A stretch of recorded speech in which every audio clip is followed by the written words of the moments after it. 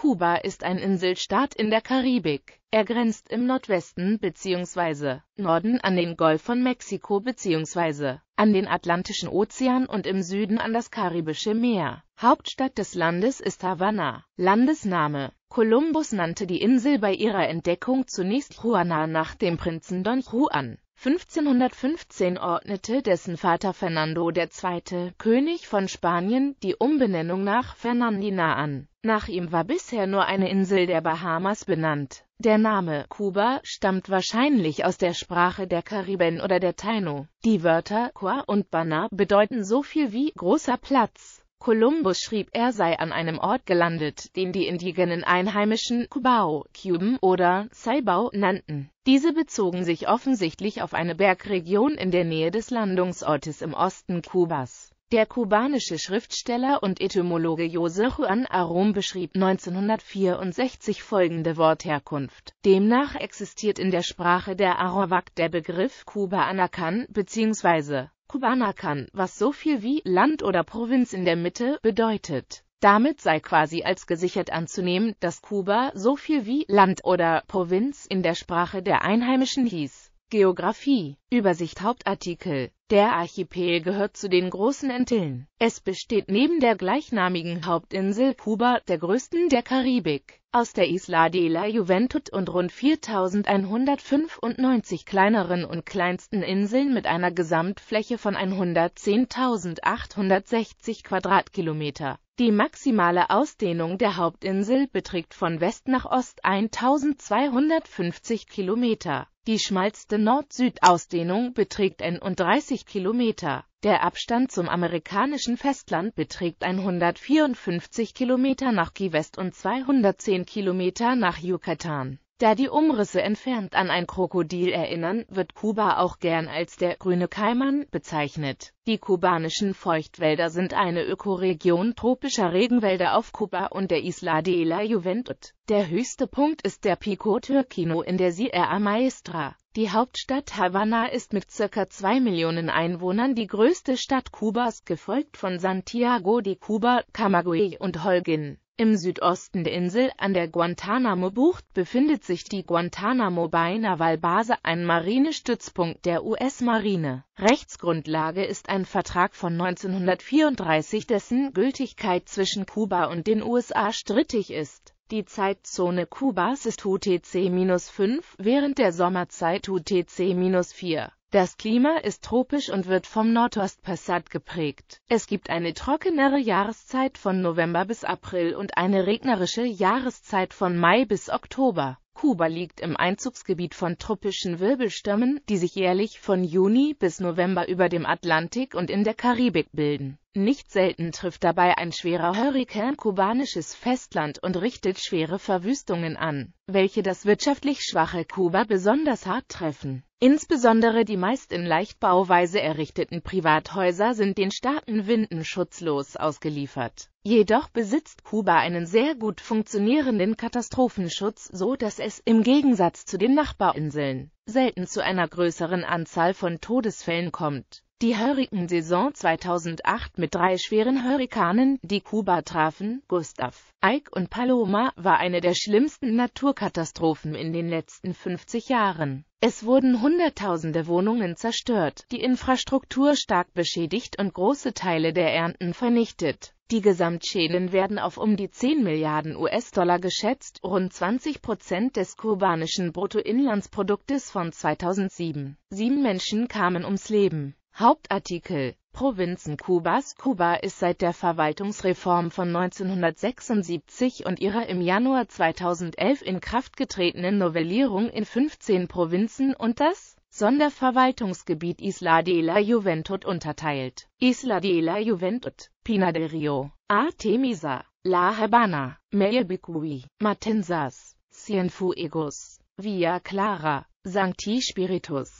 Ciego de Avila, Camagüey, Las Tunas, Granma, Holguin, Santiago de Cuba, Guantanamo, Diese Provinzen sind mit Ausnahme des Municipio Especial Isla de la Juventud wiederum in insgesamt 168 Municipios untergliedert, die in etwa einem Landkreis in Deutschland entsprechen. Meist sind sie nach der Stadt benannt, in der sich der Verwaltungssitz des Municipio befindet vor der Reform der Verwaltungsgliederung von 1976 gab es in Kuba sechs Provinzen: Pinar del Río, Havanna und Matanzas im Westen sowie Las Villas Camagüey und Oriente in Zentral- und Ostkuba. Die danach entstandene Provinz La Habana wurde 2011 in die neuen Provinzen Artemisa und Mayabeque aufgespalten die Neueinteilung der Provinzen war Teil einer Verwaltungsreform, welche auch eine klarere Arbeitsteilung der Poder Popular und eine Erweiterung der Kompetenzen der einzelnen Provinzen vorsieht. Außerdem sollte durch die Schaffung neuer regionaler Zentren das Zugehörigkeitsgefühl der dort lebenden Kubaner gestärkt und die Qualität der staatlichen Dienste effizienter gestaltet werden. Siehe auch Bevölkerung auf Kuba leben etwa 11,16 Millionen Menschen, davon über 2 Millionen in der Hauptstadt Havanna. Insgesamt leben 76,8 Prozent der Kubaner in städtischen Gebieten. Die Inselbevölkerung wuchs in der Vergangenheit kontinuierlich um eine Million Menschen je Jahrzehnt. Ursachen für das hohe Bevölkerungswachstum sind die hohe Lebenserwartung und die mit 4,9 Fällen je 1000 Geburten geringe Kindersterblichkeit. Aufgrund zurückgehender Geburtenrate und Emigration hat sich die Bevölkerungsentwicklung inzwischen verlangsamt Prognosen zufolge wird die Bevölkerung im Jahre 2015 leicht zurückgegangen sein auf etwa 11,2 Millionen Menschen, im Jahre 2025 auf etwa 11,1 Millionen. Der Anteil der über 6-0-Jährigen soll dann 26 Prozent der Gesamtbevölkerung betragen. Der sich abzeichnende demografische Wandel wird in Kuba deutlich langsamer einsetzen als beispielsweise in Deutschland wo bereits heute knapp 26 Prozent der Bevölkerung 60 Jahre und älter sind. Den Angaben des letzten Zensus von 2012 zufolge beträgt die Bevölkerung 11.167.325 Menschen durch ein spanisches Gesetz, das Ley de Memorial Historica, von dem Kinder und Enkel von Flüchtlingen des Spanischen Bürgerkrieges profitieren, haben 150.000 bis 200.000 Kubaner das Anrecht auf die spanische Staatsbürgerschaft. Die kubanische Bevölkerung teilt sich laut Eigenangaben der beim Zensus 2012 befragten Personen wie folgt auf 64,1 Prozent Weiße, 9,3 Prozent Schwarze, 26,6 Prozent Mulatten und Mestizen. Auffällig sind dabei die großen regionalen Unterschiede. Während sich in den westlichen Provinzen durchschnittlich 70 zu 80 Prozent als Weiße bezeichnen, sind es in den östlichen Provinzen des Landes deutlich weniger. In Santiago de Cuba bezeichnen sich beispielsweise nur 25,6 Prozent der Einwohner als Weiße, 60 Prozent als Mulatte oder Mestize und 14,4 Prozent als Schwarze. In Havanna ergibt sich ein differenziertes Bild. Dort bezeichnen sich 58,4 Prozent als Weiße, 26,6 als gemischt und 15,2 Prozent als Schwarze. Das präkolumbische Volk der Taino, das die Insel vor der Ankunft der Spanier besiedelte, ist ausgestorben. Hauptartikel: In Kuba wird Spanisch gesprochen, jedoch weist die dort gesprochene Variante einige Besonderheiten zur in Spanien gesprochenen Hochsprache und auch zu den im übrigen Hispanoamerika gesprochenen spanischen Dialekten auf. Ein Großteil dieser Varietäten findet sich jedoch auch in anderen spanischsprachigen Ländern der Karibik, insbesondere in der Dominikanischen Republik, Puerto Rico und den Karibikküsten von Kolumbien und Venezuela. Minderheitensprachen, wie beispielsweise indianische Sprachen, existieren praktisch nicht. Die grammatikalische Besonderheit, welche die Sprache mit dem übrigen Lateinamerika gemeinsam hat, ist die Nutzung von ustedes als drei Person Plural anstatt von vosotros. Die Aussprache ist ähnlich den übrigen spanischsprachigen Ländern in der Karibik und hat ihre historischen Wurzeln wohl hauptsächlich in den Regionen Spaniens aus denen die erste größere Einwanderungswelle stammte, nämlich den Kanaren und aus Südspanien, und zeichnet sich unter anderem durch den sogenannten Seseo aus. So werden die im Hochspanisch unterschiedlichen Laute Theta und immer wie ausgesprochen. Das Verschlucken einiger Konsonanten, wie das am Silben- und Wortende sowie des D und B zwischen Vokalen ist ebenfalls typisch Auch wird häufig statt R am Silbenende L ausgesprochen. Puerta gerät dann zu Pulta und Por favor zu Por favor.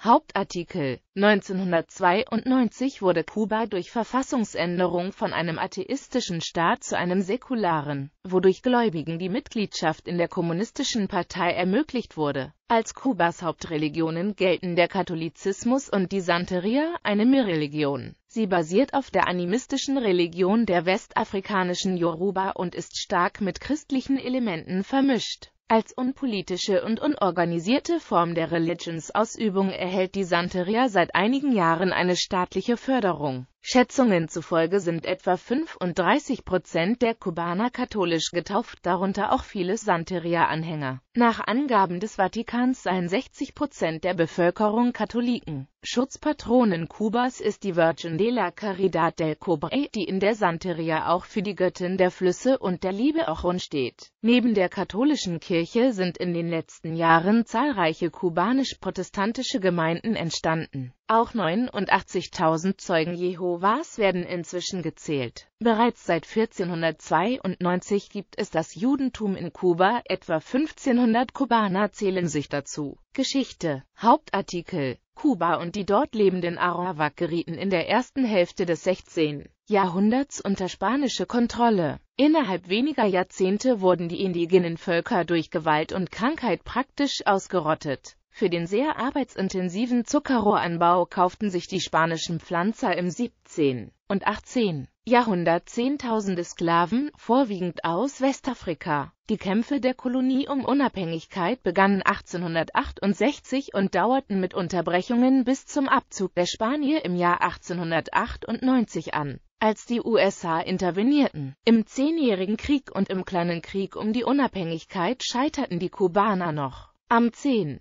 Dezember 1898 erklärte Spanien im Friedensvertrag von Paris den Verzicht auf Kuba und die Philippinen. Zuvor kämpften der kubanische Nationalheld José Martí und die Oberbefehlshaber Máximo Gómez und Antonio Maceo im Unabhängigkeitskrieg seit 1895 mit einer sehr kleinen Armee gegenüber 200.000 Spanier. Intervention der USA Nach dem Ende des Spanisch-Amerikanischen Krieges besetzten die USA die Insel, bis sie schließlich 1902 die formale Unabhängigkeit erlangte. Die Souveränität war bis 1934 jedoch durch das Platt Amendment eingeschränkt, das den USA bei Beeinträchtigung US-amerikanischer Interessen ein jederzeitiges Interventionsrecht in Kuba gab. Ein Überrest dieser US-amerikanischen Sonderrechte ist der gegen den erklärten kubanischen Willen noch heute von den USA aufrechterhaltene Marinestützpunkt Bahia de Guantánamo, dessen Militärgefängnis infolge der Terroranschläge am 11. September 2001 internationale Bekanntheit erlangte. Hauptartikel Anfang 1959 stürzten die kubanischen Revolutionäre unter der Führung von Fidel und Raúl Castro, Camilo Cienfuegos und dem Argentinier Ernesto Guevara, genannt Che, den kubanischen Diktator Fulgencio Batista und errichteten ab 1961 einen sozialistischen Staat. Die damit verbundenen Enteignungen von US-Firmen und US-Bürgern führten zu einem dauerhaften Embargo der USA und weiterer westlicher Staaten gegen Kuba. Kuba suchte und fand Unterstützung bei den sozialistischen Staaten Osteuropas, insbesondere der damaligen Sowjetunion Aufgrund der strategischen Lage Kubas eskalierte 1962 der Konflikt zwischen den USA und der UdSSR in der sogenannten Kuba-Krise. Noch heute leidet Kuba unter wirtschaftlichen Sanktionen und ist als eines von wenigen Ländern nicht Mitglied in supranationalen Bündnissen. In mehreren Flüchtlingswellen verließen tausende Kubaner ihre Heimat, von denen sich ein Großteil in Florida, insbesondere in Miami, ansiedelte Hauptartikel Nach dem politischen und wirtschaftlichen Ende von Kubas wichtigsten Handelspartnern und Geldgebern zu Beginn der 1990er Jahre erlebte Kuba eine schwere Wirtschaftskrise, die 1993 ihren Höhepunkt erreichte. Hatte Kuba zuvor fast seine gesamte Zuckerernte in die sozialistischen Staaten Osteuropas verkauft und im Gegenzug zwei Drittel seiner Nahrungsmittel fast das gesamte Öl und 80 Prozent seiner Maschinen und Ersatzteile von dort bezogen. So waren auf einmal 85 Prozent seines Außenhandels weggebrochen. Die Industrie und das Transportwesen kamen wegen Ölmangels zum Erliegen und infolge drastischer Nahrungsmittelrationierungen kam es erstmals seit vielen Jahren zur Unterernährung auf der Insel. 1992 beschloss die Regierung, als Ersatz für den verloren gegangenen Außenhandel die Tourismusindustrie zu entwickeln. Unter der Führung von Carlos Lage wurde die Wirtschaft dezentralisiert und Marktwirtschaft und Devisenhandel in einigen Nischen zugelassen. Joint-Venture-Geschäfte im Bereich des Tourismus, die Zusammenarbeit mit neuen Außenwirtschaftspartnern, die Entdeckung von neuen Ölvorkommen und die Vermarktung der bedeutenden Nickelvorkommen trugen zur Stabilisierung der kubanischen Wirtschaft bei. Allerdings entstanden auch soziale Disparitäten. Nachdem durch die notwendig gewordene Wiedereingliederung Kubas in den karibischen Wirtschaftsraum ein gewisser wirtschaftlicher Aufschwung zu verzeichnen war, führten die Hurricanes von 2008, die sich zeitlich mit dem Höhepunkt der globalen Wirtschaftskrise überschnitten, zu einer erneuten Verschärfung der Krise. Die kubanische Bevölkerung spricht von ihr seitdem als der Segunda Crisis de los 90. Nachdem die schon 2006 angekündigten Wirtschaftsreformen fünf Jahre später von der kubanischen Nationalversammlung als neue Leitlinien der Wirtschafts- und Sozialpolitik gebilligt worden sind werden in Kuba Maßnahmen zur Erreichung eines stabilen Wachstums ergriffen. Im Jahr 2012 ist die Versorgungskrise aus den Jahren um 2008 überwunden. Die Atmosphäre ist laut dem Spiegel-Korrespondenten Jens Glüsing offener und entspannter, der wirtschaftliche Aufschwung sei überall zu spüren. Die inflationsbereinigten Gehälter erreichten 2011 jedoch weiterhin lediglich 51 Prozent des Wertes von 1989. Im Mai 2013 bestätigte der FAO-Generaldirektor Jose Graziano da Silva in einem Gespräch mit Raúl Castro, dass Kuba das 1996 beim Weltgipfel der FAO in Rom definierte Ziel der Halbierung der Zahl der unterernährten Personen vorzeitig erreicht habe. Kuba befindet sich unter den 16 Ländern, die weltweit bei der Bekämpfung des Hungers die größten Fortschritte vorzuweisen hätten